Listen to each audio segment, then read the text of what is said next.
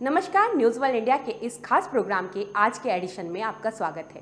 देश भर में सर्दियों की शुरुआत हो चुकी है। वैसे तो खान पान के मामले में इस मौसम में उपलब्ध सब्ज़ियाँ और फलों का कोई जवाब नहीं है।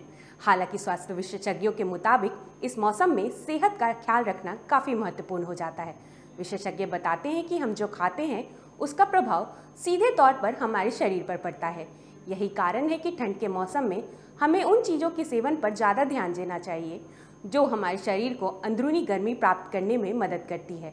स्वास्थ्य विशेषज्ञों के मुताबिक, हमारे किचन में ऐसी कई चीज़ें मौजूद होती हैं, जिनका ठंड के मौसम में सेवन करना काफ़ी फ़ायदेमंद हो सकता है।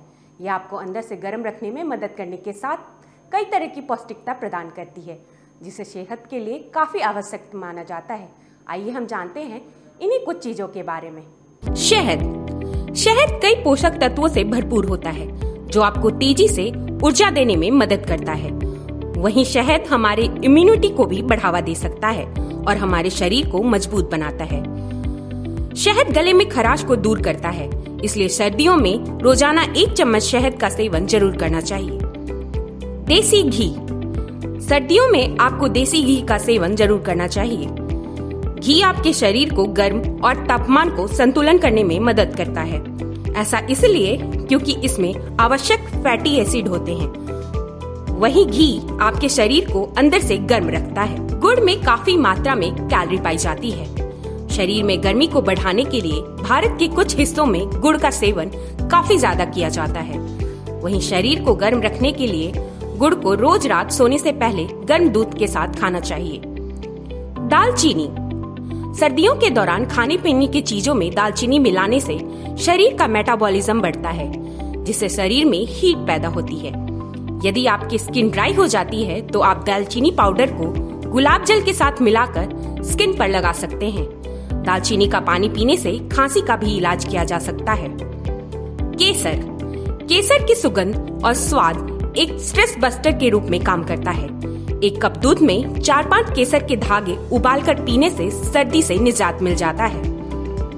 सरसों। सरसों एक तीखा मसाला है, जो सर्दियों के दौरान आपके शरीर को गर्म रखने के लिए जाना जाता है। सफ़ेद और भूरे रंग की सरसों में एलिल आइसोथियोसाइनेट नामक कंपाउंड पाया जाता है, जो आपके शरीर के तापमान को स्वाद तरीके से बढ़ा सकता है। तिल। तिल का इस्तेमाल चिक्की या अन्य सर्दियों की मिठाई में काफ़ी ज़्यादा किया जाता है। तिल के बीज आपके शरीर को गर्म रखने और सर्दियों के दौरान आपको गर्म महसूस कराने के लिए बेहद अच्छे माने जाते हैं। अदरक। अदरक को न सिर्फ़ चाय का स्वाद बढ़ाने के लिए, बल्कि बीमारियों को ठीक करने के लिए भी दवाओं के रूप में इस्तेमाल किया जाता है। अदरक शरीर पर थर्मोजेनिक प्रभाव छोड़ता है, जिससे हमारा शरीर अंदर से गर्म होता है। अंडे। अंडों को प्रोटीन का सबसे बेहतरीन स्रोत माना जाता है। रोज़ाना अंडे का सेवन करके प्रोटीन की दैनिक आवश्यकताओं की आसानी से पूर्ति की जा सकती है। सर्दियों के दौरान शरीर को गर्म रखने के लिए नाश्ते में अंडे को शामिल करना बेहतर विकल्प माना जाता है। कोलेस्ट्रॉल की मात्रा को कम करते हुए हृदय रोग के खतरे से बचने और आँखों के लिए भी अंडे का सेवन लाभदायक माना जाता है। गर्म दूध। वैसे तो दूध का सेवन रोज करना चाहिए हालाँकि सर्दियों के मौसम में गर्म दूध पीना और भी फ़ायदेमंद माना जाता है।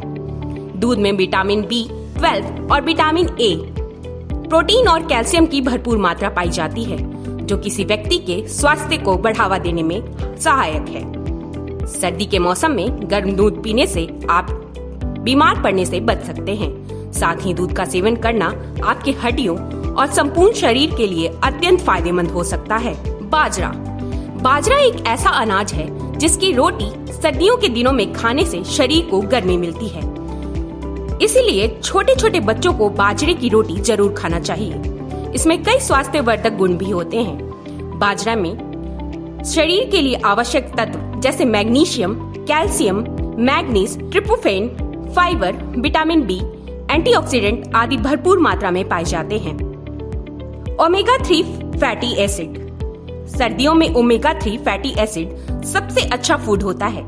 यह मुख्य रूप से मछलियों में पाया जाता है। सर्दियों में मछलियों का सेवन करें। इससे शरीर को गर्मी मिलती है।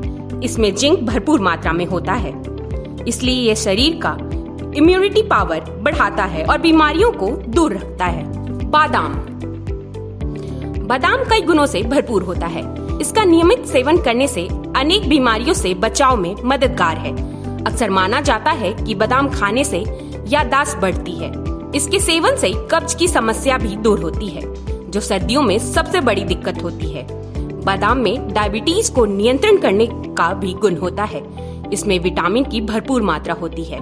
सर्दियों के मौसम में गर्म कपड़े और हीटर भले ही आपको बाहर से गर्म रखने का काम कर रहे हों, लेकिन शरीर के अंदर से गर्म रखने के लिए खान पान का बेहद अहम रोल है।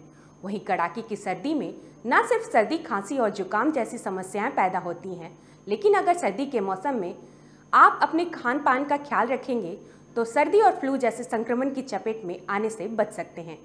फ़िलहाल के लिए इस प्रोग्राम में इतना ही। इस मौसम में आप अपना और अपने परिवार का रखें ख्याल। हम मिलेंगे इस प्रोग्राम की अगली कड़ी में। नमस्कार।